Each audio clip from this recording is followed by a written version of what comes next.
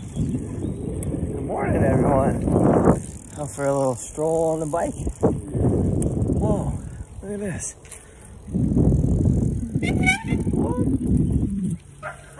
Dude's got it set up nice with all the palm trees.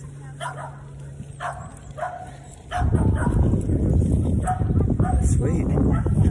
Mor- morning, how are you? Whoa, dogs. Sorry. Well, taking a ride around the neighborhood. Enjoying my uh, Friday day off.